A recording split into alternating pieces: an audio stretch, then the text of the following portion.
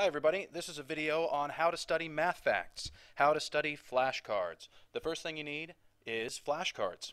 Um, you can buy flashcards. Those are some of my favorites. You can get them online or uh, at a teacher supply store. Um, or you can make your own flashcards um, just with index cards, just like these. So when you make your flashcards, if you're making addition, um, you want to have a set that has the same number. Like if this is threes, we got 3 point plus 2, 3 plus 3, 3 plus 4. I'm missing some, but that's okay. For addition, you just go 1 through 10. You pick something like plus 3, and then 3 plus 1, 3 plus 2, 3 plus 3, all the way to 10. If you're doing subtraction, um, it's the other way around. Your answers are going to be 1 through 10. So you could do like 12 minus 3, 13 minus 3. You obviously don't want to do 2 minus 3. We don't want to do negative numbers. Don't want to do 14 minus 3 because you don't want to go higher than 10. Um, so with subtraction flashcards, all the answers are going to be 1 through 10. Multiplication, it's the same as addition. It's just going to be like 3 times 1, 3 times 2, 3 times 3, all the way up to 10. Division is a little harder. Um, you just have to make sure that your first number is a multiple of whatever the second number is. So you could do 14 divided by 7. You could do 21 divided by 7. But you're not going to want to do 10 divided by 7. So let me show you how to study the math facts. I've got some sixes here. And what you want kids to do is you want them to think about their thinking. It's kind of hard to figure out, but once you get it, uh, it's easy. So I'm going to look at these flashcards, and I'm going to think, do I, do I know the answer right away, or do I have to count to figure it out? If I knew the answer right away, I'm going to put the card over here in this pile. If I had to count to figure it out, I'm going to put it in this pile. Um, so it takes a while to teach kids how to do that. Um, you just have to coach them through the first couple of times and say, so did you know that right away or did you have to count to figure it out?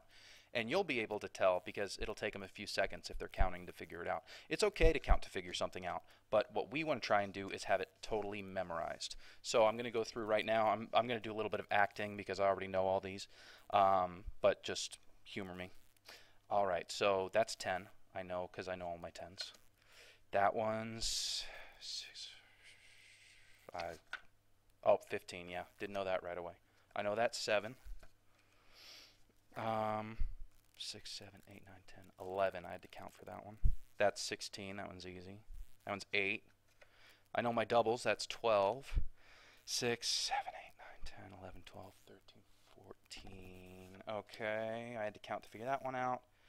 6, 7, 8, 9. I had to count to figure that one out. 6, 7, 8, 9, 10, 11, 12, 13. Okay. That one's 13. So, these ones I already knew right away, so I don't even need to study those. I can put those over here. These, um, actually, I do want to keep these close by. These ones I had to count to figure them out. So I'm just going to take a few of them, maybe like three of them, and then I'm going to study them a lot. So let's see, what's this one? 13. Okay.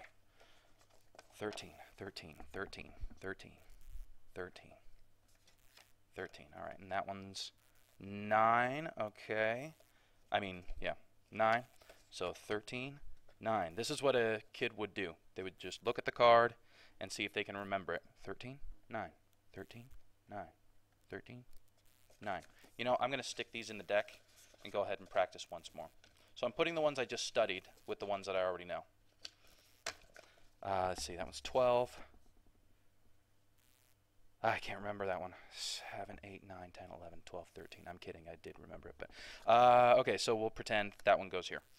Um, 8, 16, 9. I remember that one. 7, 10. Okay, so I need to study this one some more. And I'll throw this one in too. So that's 11. And that one's 13. 13, 13, 11, 13, 11, 13. I think I've got it, so I'm going to put them back in, and we'll see if I remember them. 10, 7, 9, 11, 16, 8, 12, and I don't remember that one, so I have to keep studying it. So that's how it goes. You you just study the pack, you introduce a couple of new ones. You try and memorize them, um, and that's that's how flashcards work. So if you help your kids for a while, for like a week or two, then they should be able to do it on their own. This is something they should work on every night because by the end of third grade, they need to have addition, subtraction, multiplication, and division down to automaticity, that they know them automatically. After you've got all those down, there are um, websites you can use that aren't great to learn the facts, but they're great to practice them and practice getting faster at them. Let me show you some. Uh, this is a great worksheet generator. Um, it's at superkids.com, so you could just Google Superkids worksheet creator, and it would pop up. The thing I like about this one is you can pick to use one number in all the problems, so it's a pretty good one. Another one I like is called Math Magician.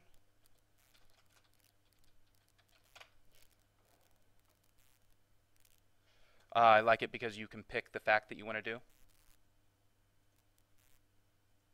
Like if I want to do plus 7, and then you just hit start.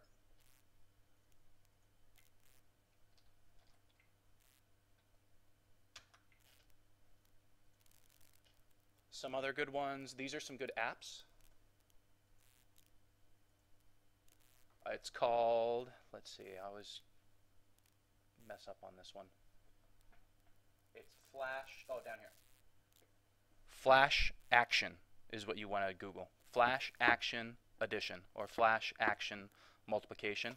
This app will pop up. It's for the iPad. It's it's really great. So, uh, hopefully that tells you how to study your math facts, how to practice your math facts. Uh, it's pretty easy, and you get the hang of it if you end up doing it every day. Um, every day is the way to learn them. If you just focus on them for a couple times a week, they aren't going to stick. So, um, okay, that's it.